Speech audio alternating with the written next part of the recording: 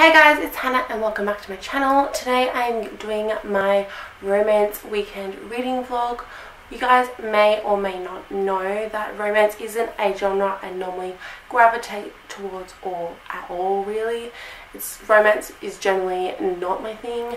I like character driven stories or plot driven stories more than romance stories but I thought I'd give this genre a try and have three books I'm planning to read during this reading vlog.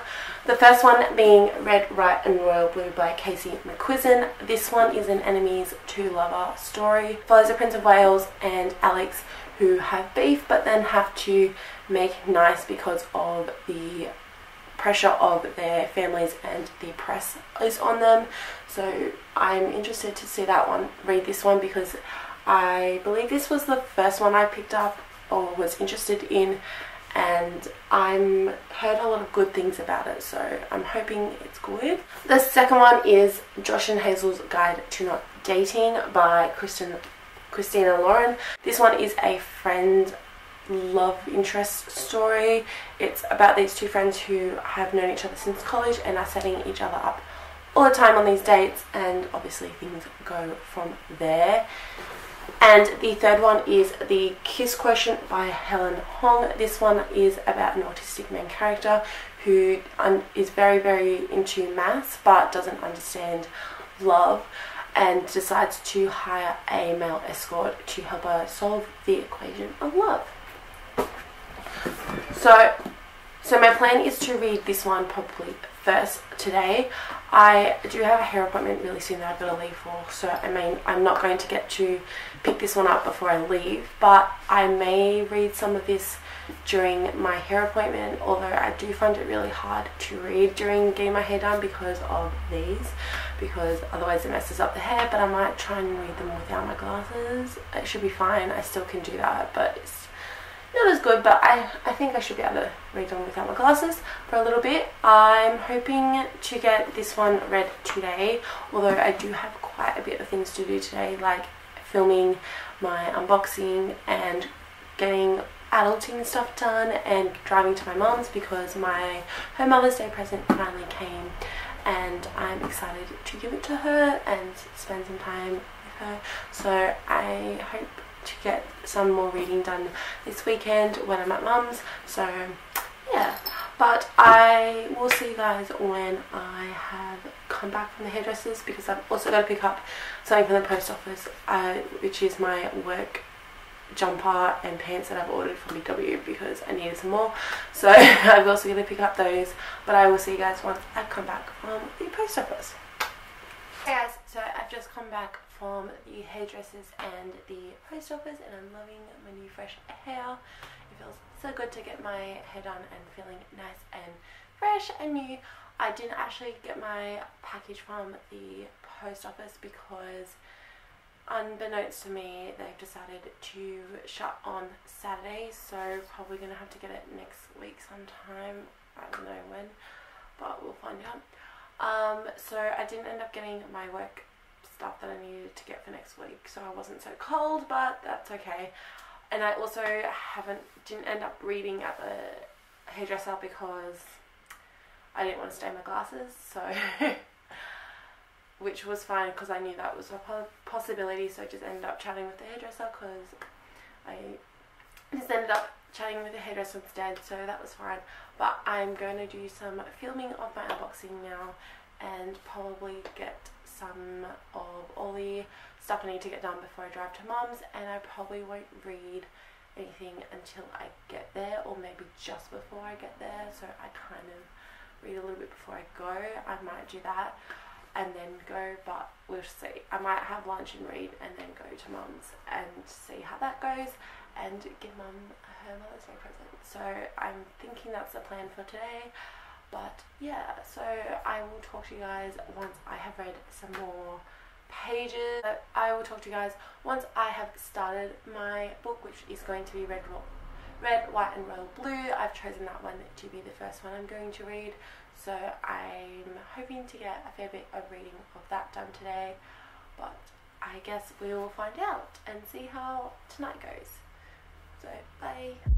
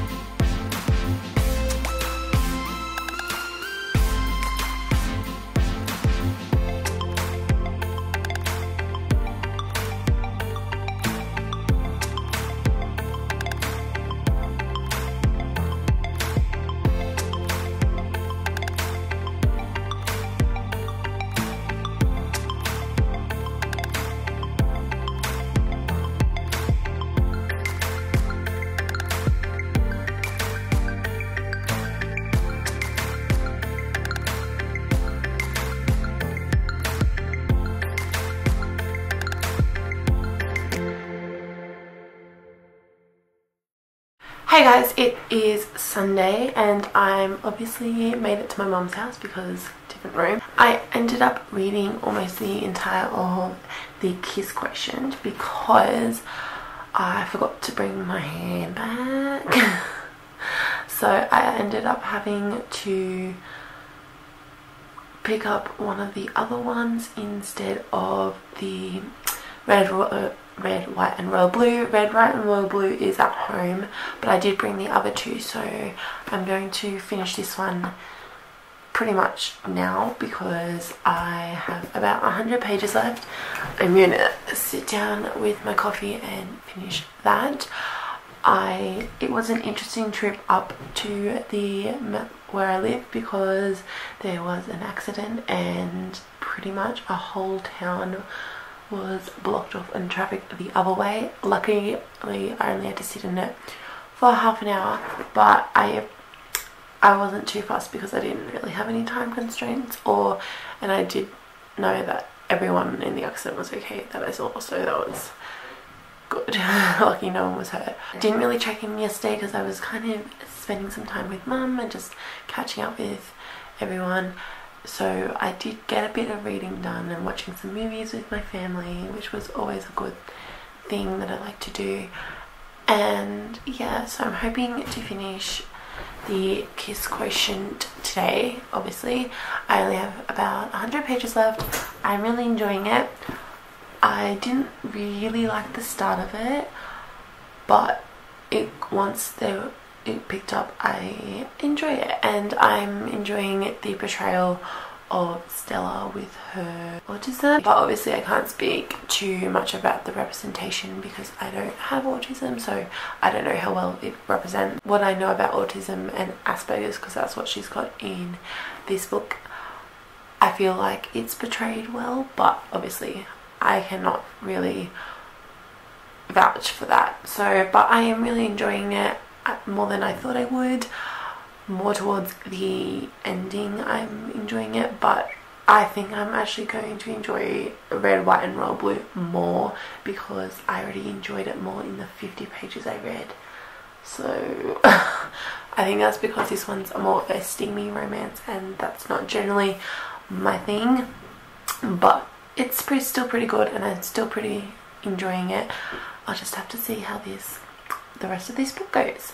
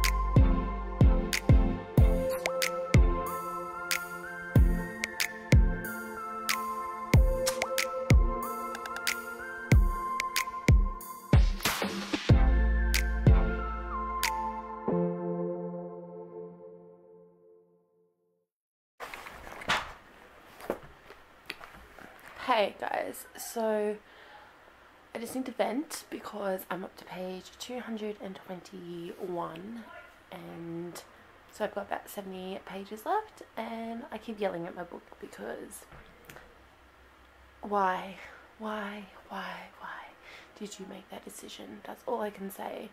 I'm absolutely loving this book but one of the characters' decisions just right now just made me go, why did you do that? That was just stupid. but I get it, I get it, but ah. it is the most funny book I have ever read. So I'm loving that. And it is heading towards five stars because I'm just so invested in this story and these characters. These characters are just awesome as as I said, I've got 70 pages left, so I'll definitely finish it tonight, and then move on to red, royal, red, white, and royal blue, and then probably, hopefully, finish that one too. Hopefully, I uploaded my video, which was really good. I finally did that one. I've got one more to edit and upload, but I think I'm going to do that after I finish this because now I'm at a tipping point in the book, and what the hell, man? Why did you do that? I just want to shout at him and throttle him for making that stupid decision. But just why, why? But it's gonna, it will probably work out in the end because it is a romance story and they've got to have complications. But uh,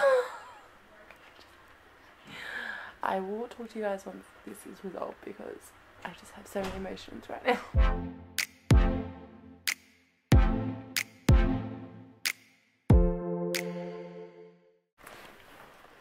Guys, so I just finished the Josh and Hazel's Guide to Not Dating and absolutely loved it.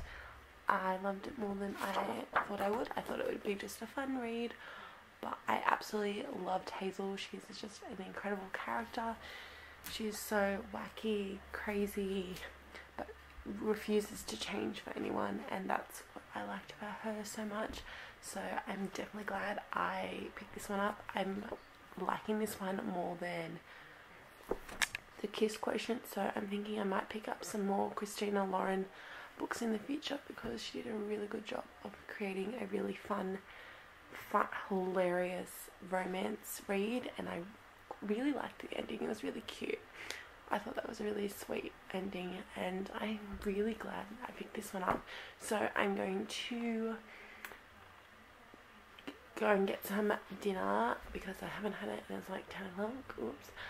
And then I'm going to finish off red, white, and royal blue. I also think I'm going to really enjoy that one because the 50 pages I read before I left for my mum's I absolutely loved and I can't wait to see where this romance is going to go because it looks like it could be an interesting ride. So I'm intrigued.